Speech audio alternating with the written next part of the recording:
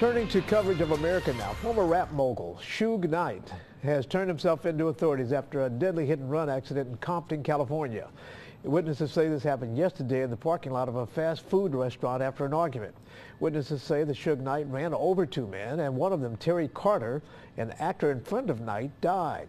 Police say a second man was injured. Investigators are connecting Knight to a pickup tied to that incident. Now, red pickup truck's involved in this, and those people uh, were also at the other altercation. So, yes, it, it all suggests that he was the person driving that truck.